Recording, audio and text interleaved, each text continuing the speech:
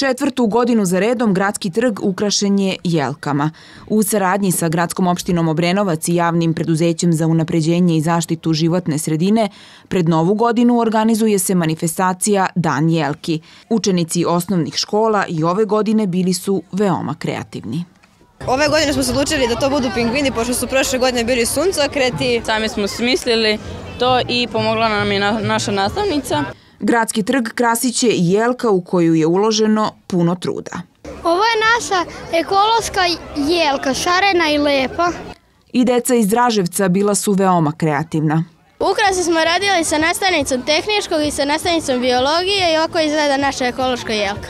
U akciju su se uključili i mališani osnovne škole Živojin Perić, koji su napravili pravo malo umetničko delo, ali i deca iz škole Posavski partizani. E, pa ovaj put e, smo se trudili da jelka bude mnogo lepa i šarena, da ima ukra, e, mnogo lepe ukrase zbog nove godine.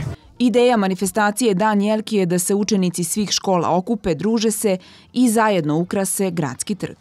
Evo, praznična euforija je polako otpočela. E, javno preduzeće za zaštitno napređenje životne sredine u saradnji sa gradskom opštinom i e, studentsko-kulturnim centrom već tradicionalno organizuje ovaj dan Jelki na, na trgu kao početak novogodišnje proslave. I ovaj, naša ideja je da svu decu osnovnih i preškolskih, e, osnov, osnovnih škola i preškolskih ustanova postaknemo da iskoriste svoju maštu i kreativnost i okite ove Jelke, a samim tim ćemo dobiti prelepe poklone za grad i, i naše sugrađane.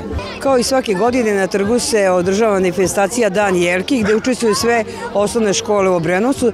Svaka škola kiti svoju jelku, tako kad se po završetku programa oni svoju jelku nose u matičnu školu.